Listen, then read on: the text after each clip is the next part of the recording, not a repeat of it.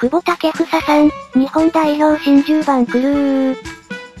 2020年10月13日週刊新潮ウェブの記事から引用、アディダスが絶望していたとされる久保10番がなぜ実現しなかったか、である。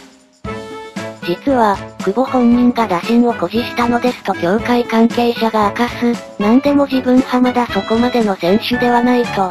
実際のところ、久保浜田 A 代表ではこれといった実績はありませんし、エースどころかレギュラーとすら言い難いですからね。そんな自分が銃をつけるのは格好悪いし、チームメイトから貧縮を買うのではないか、と考えたみたいです。銃はスポンサーの力ではなく自分の力で勝ち取りたいという気持ちもあるらしい。久保に代わって10番を背負うことになった南野も、そもそも銃に執着派ないので、久保次第でいつでも銃を譲るようですよ。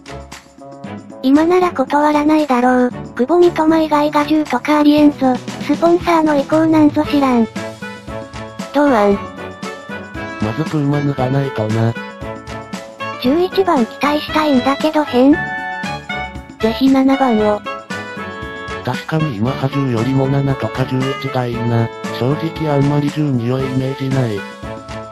竹が10が一番好きと言ってたからな。まあ俊介の手前もあったかもだけど、わら。